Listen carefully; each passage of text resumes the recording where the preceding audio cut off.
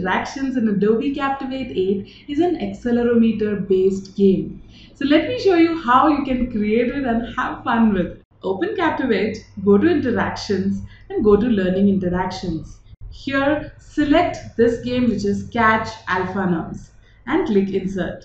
It'll ask you whether you want a question with words or you want a question with numbers. So if your question has some words and numbers, go ahead and choose uh, add questions with words. And if you have some numerical expression that you want your uh, students to respond to, go ahead and check uh, questions with numbers. I'll go with add questions with words and that gives me this interface where I have to fill out this form and tell them what is the question and what is the answer. So let me just ask the question, what is the latest version of Captivate? Of course, it's 8. So I'll type 8 here. And here by default it gives the character set of A to Z but you can easily go and include numbers as well. Just add comma separated values here and those will be the character set that you get when you play the game. Uh, you can assign some score to it. You can have lifelines. The lifelines can be anywhere between 0 to 5 and here this is the place where uh, you hide the characters so there'll be word written there which is 8 and one of the characters will be hidden. If you want to just hide one, you can go with that. Or you can go with hiding all of them. Let's go and hide all the alphabets. So I will just type 5 here and that will keep all 5 characters blank. You can also have big uh, words like encyclopedia or anything else and you can just decide to hide say five characters or eight characters.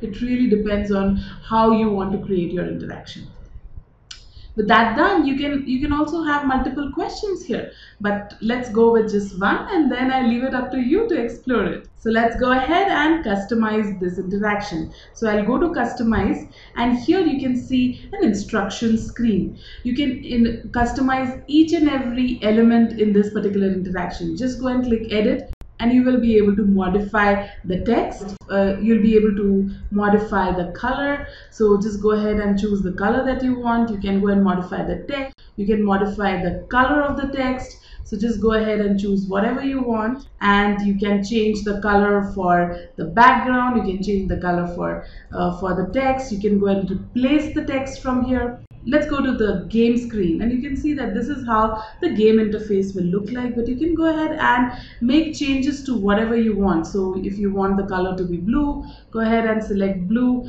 You can associate this with a variable name. So whatever score the learners get that will be stored in this variable. And then you can call this value from anywhere in Captivate uh, course you can change the color for the top banner. You can do whatever you want and then you can change the color for the lifeline as well. And there are two types of lifelines. One is a heart shape and one is the human shape. So you can choose whatever you want.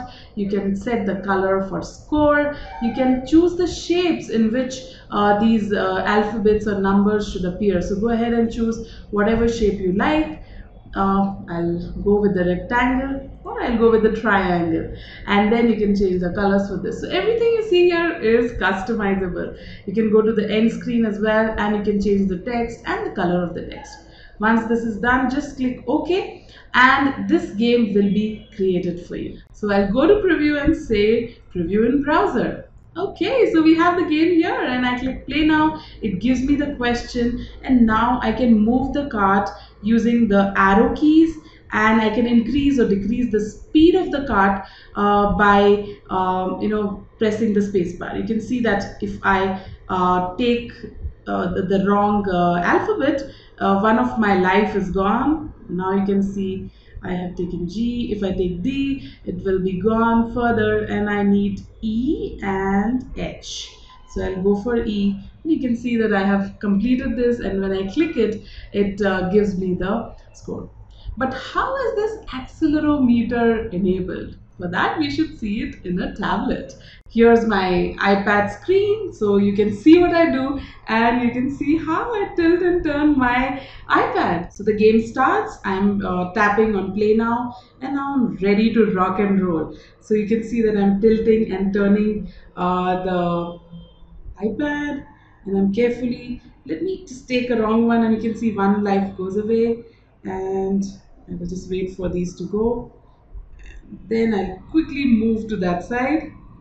Okay, and here's I, that's what I need. I have to be very careful with how I move the iPad and then go and collect H. This is fun. okay, so aha, here goes E and here's my G. Oops, I missed it. Okay, here's G and I just need a T now. Where is my T? Here is my T. So, okay. So here it says your answer is correct and click to continue and it says well done, you scored 10. So go ahead and use this interaction to add some fun to your mobile based courses. Thanks for watching this video.